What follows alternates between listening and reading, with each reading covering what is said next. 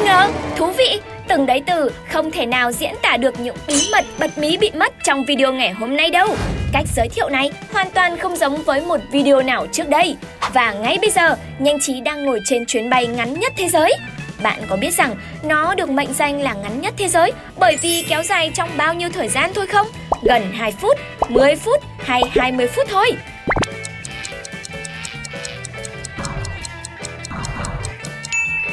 Amazing, bất ngờ ngơ ngác và ngã ngửa. Chuyến bay ngắn nhất thế giới chỉ kéo dài trong khoảng gần 2 phút. Hả? Bạn nghĩ điều này không thể xảy ra ư? Không nghe nhầm đâu. Ở Scotland, giữa hai hòn đảo Westray và Papa Westray có một chuyến bay thương mại mà bạn ngồi chưa kịp ấm mông thì máy bay đã hạ cánh rồi. Bởi khoảng cách bay từ đảo nọ sang đảo kia chỉ 2,7 km, bằng từ nhà mình đến trường thôi mà.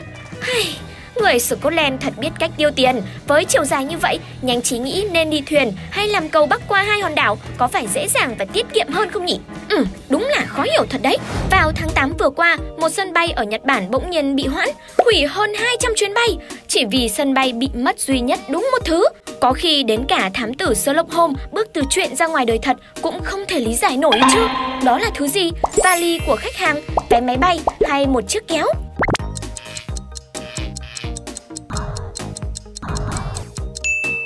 Ôi trời đất ơi, tại sao lại nghiêm trọng như thế này? Chỉ vì một chiếc kéo bị thất lạc của một cửa hàng trong khu vực chờ bay của sân bay Shinchitos thuộc Hokkaido, Nhật Bản đã khiến mọi hoạt động kiểm tra an ninh phải tạm dừng trong 2 tiếng, dẫn tới sự chậm trễ và hủy chuyến đáng kể, ảnh hưởng tới hơn 7.200 hành khách. Dù đã dành hơn 2 tiếng săn lùng báo vật, chiếc kéo vẫn mất tích. Đúng là vô lý. Cuối cùng giới chức sân bay đành gật đầu cho an ninh trở lại hoạt động và loay hoay giải quyết cho hành khách đang bị mắc kẹt. Điều này khó lý giải thực sự. Bạn nghĩ rằng chiếc kéo đã lạc đi đâu mất nhỉ? Phải chăng chiếc kéo đã quyết định đi du lịch một mình? Đi đến đây thì không thể nào dừng lại được nữa. Đúng, đúng. Đến lúc bạn cần phải ra tay, chứng minh sự tinh mắt của mình thông qua việc tìm chiếc kéo này tại sân bay nhé. Nhưng nó đang ở đâu và bạn có thể là người tìm ra đầu tiên không nhỉ?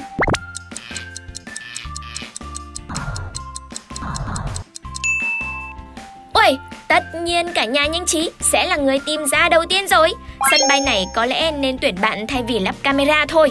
Mắt của bạn còn tinh tường hơn cả mắt thần mới có thể nhận ra chiếc kéo ở đây. Nhưng người Nhật thì rất chuyên nghiệp và để chứng minh sự tinh mắt đó, bạn cần phải vượt qua một thử thách này. Trong hai bức ảnh sau đây có một điểm duy nhất khác biệt thôi, bạn có thể nhận ra không?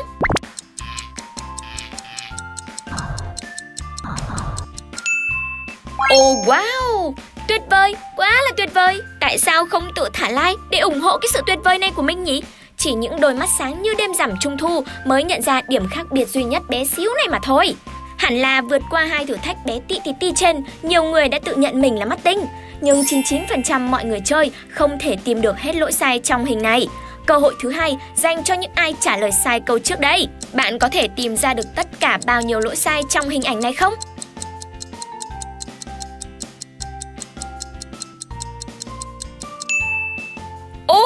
Sao có tới tận 7 điểm sai cơ chứ?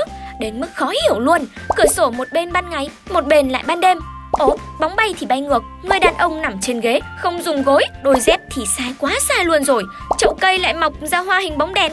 What? Trên đỉnh tivi có hồ cá thế kia, nguy hiểm quá. Cuối cùng là cậu bé tập bài thể dục, chẳng liên quan gì đến hình ảnh trong tivi kìa. Đến đây nếu như bạn tự tin, mình tìm ra hết trước cả nhanh trí thì comment xuống bên dưới nhé. Nhanh trí sẵn sàng bái phục bạn làm sư phụ thôi. Còn nếu như chưa tự tin lắm, thì liệu rằng bạn có phải là người sở hữu siêu trí tuệ không? Hãy tham gia thử thách nối các chấm tròn lại với nhau chỉ bằng 3 dòng kẻ này nhé.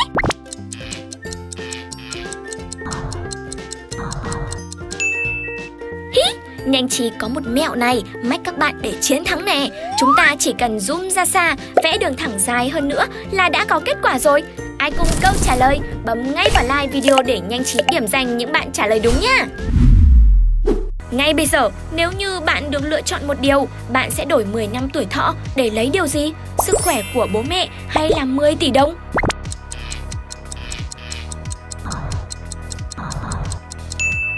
Ồ, khai thật đi, bạn lựa chọn điều gì? Còn nhanh trí chắc chắn rằng các bạn đều chọn đổi 10 năm lấy sức khỏe của bố mẹ mà thôi. Suy cho cùng, tiền có thể làm ra được, nhưng sức khỏe của bố mẹ theo thời gian thì không có gì đánh đổi được đâu. Bố mẹ sẽ không thể ở cùng chúng ta cả đời được, vậy nên đánh đổi sức khỏe để bố mẹ được sống thọ hơn là điều rất ý nghĩa. Nếu như bố mẹ vẫn đang ở bên cạnh bạn thì hãy trân trọng những giây phút này nhé, vì đó là khoảng thời gian vô giá, không có gì có thể lấy lại hay mua được. Nhân cơ hội này, bạn có muốn thổ lộ điều gì đó với bố mẹ mà còn ngại nói ra trực tiếp không? Có thể comment xuống bên dưới nhé. Những suy nghĩ chân thành của bạn được viết ra thì chắc chắn sẽ sớm trở thành hiện thực thôi. Đã là người con hiếu thảo và yêu gia đình như vậy mà lại còn gì gì gì gì, cái gì cũng biết, bao gồm cả chiếc chen này thì ai mà không yêu bạn cho được. Lúc đi hết nhanh lúc về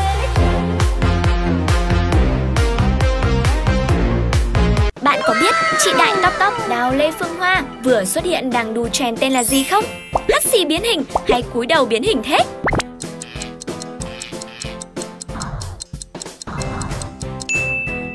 Ôi trời, ai mà nghĩ được chuyện hát xì cũng có thể trở thành một trend biến hình thì đúng là đỉnh của chóp luôn.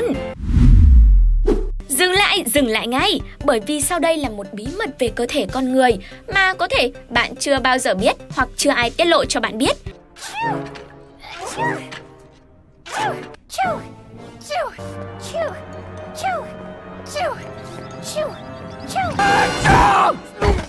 Điều gì mà chúng ta sẽ không thể làm khi hắt xì hơi, mở mắt, biến hình hay là đi ngủ?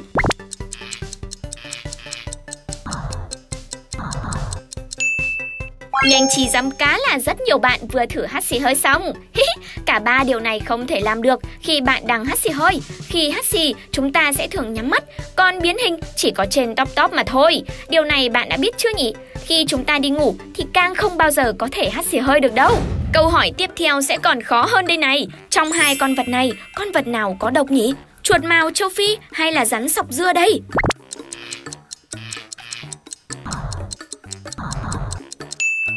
Ôi, bé Na hẳn là có độc đấy nhưng không, chuột màu châu Phi mới là đáp án chính xác. Nghe độc lạ là thế, nhưng sự thật lại là như vậy. Chuột màu châu Phi trông như nhím nhưng phong cách lại không hề hiền một chút nào. Loài gặm nhấm sống về đêm này là bậc thầy về độc tố Biết cách cô lập chất độc từ thực vật để biến mình thành phiên bản đáng sợ Khiến kẻ săn mồi phải rén khi mà không dám đối đầu. Thậm chí, chất độc trên bộ lông của em chuột này còn có thể đủ cho một chú voi tạm biệt khỏi thế gian luôn. Ôi trời, đây là thông tin lần đầu mình biết đấy. Hy vọng con chuột này không xuất hiện ở cửa nhà mình. Nhắc đến voi, liệu các bạn có biết so với mèo, con nào có trí nhớ tốt hơn không?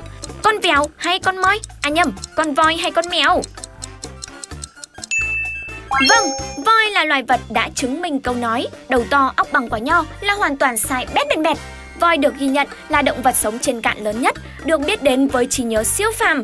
Chúng như Google Maps có thể ghi nhớ địa điểm này, nguồn nước này và đường đi qua những chặng đường đã di chuyển cô. kể cả đó có là sa mạc đi chăng nữa.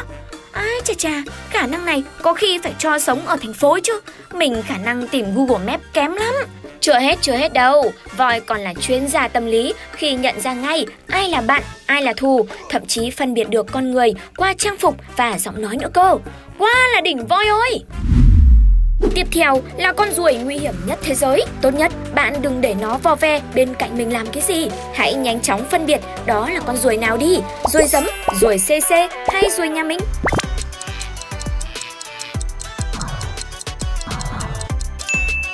Nếu như ruồi CC là sai thì không còn ai là đúng nữa.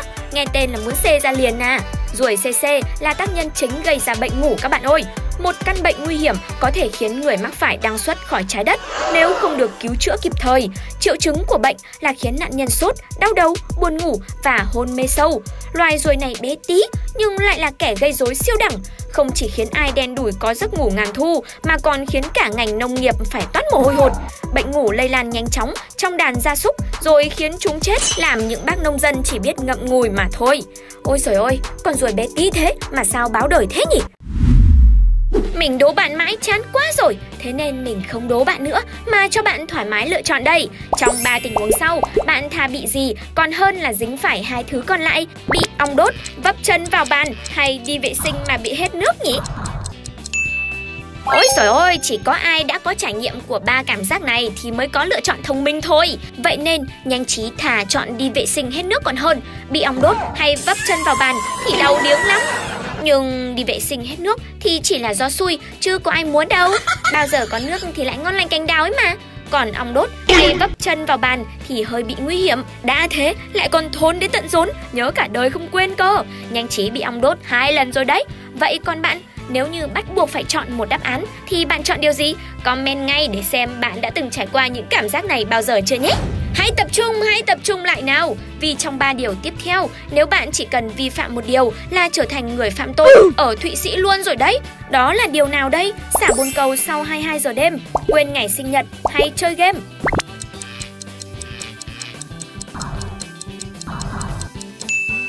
Ôi, đúng là độc lạ Bình Dương còn phải sách dép chạy theo. Ở Thụy Sĩ, nếu như bạn xả bồn cầu sau 10 giờ tối, bạn có thể nghiễm nhiên trở thành tội phạm vì đã tạo ra tiếng ồn. Hả? Nghe như đùa nhưng lại là thật. Vậy nên nếu như bạn đang ở Thụy Sĩ hay có người nhà anh chị em gì đó đang ở Thụy Sĩ thì chia sẻ tin này với mọi người nhé.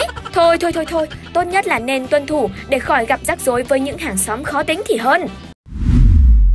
Tiếp theo là độc lạ Singapore. Nếu bạn bán đồ ăn vặt này thì bạn cũng bị phạm tội luôn và bị phạt cả đống tiền nữa cô. Khiếp, đồ ăn vặt nào mà ở Singapore bán là phạm pháp vậy? Sô cô la, nước ngọt hay kẹo cao su?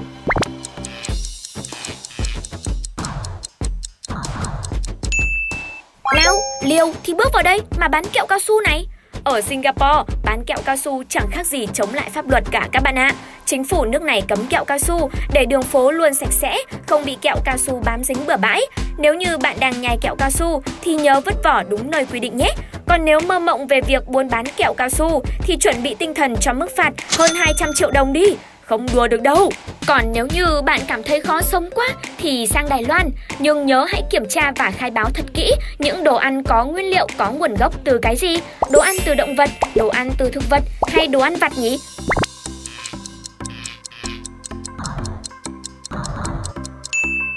Này này này, nếu không muốn bị công an ở sân bay bắt thì nhớ khai báo đồ ăn từ động vật nhé. Những món ăn có liên quan đến động vật luôn được Đài Loan làm rất nghiêm ngặt để tránh nguy cơ lây lan bệnh cho đất nước của họ đấy. Chẳng thế mà có câu chuyện dở khóc dở cười, một người Đài Loan sang Việt Nam công tác khi về được tặng chiếc bánh trung thu nhưng quên mất chưa khai báo kiểm dịch trước khi lên máy bay là bên trong bánh trung thu có nhân thịt lợn. Sau đó anh ấy đã bị phạt 156 triệu đồng ngay trên chính quê hương của mình.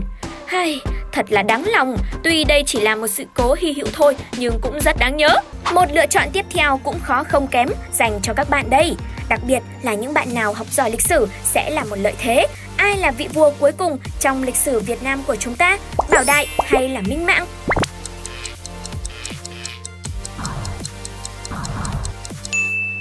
Nào, học giỏi lịch sử mà lại bảo không nhớ đi.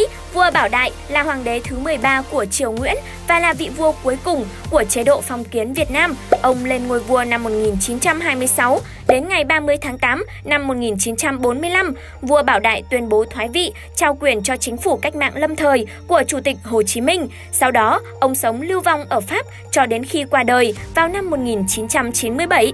Chúc mừng! Bạn xuất sắc hơn những gì bạn tưởng và cả nhanh trí tưởng nữa đấy. Liệu bạn sẽ chọn like video hay là đăng ký kênh nếu như thấy yêu mến nhanh trí nhỉ?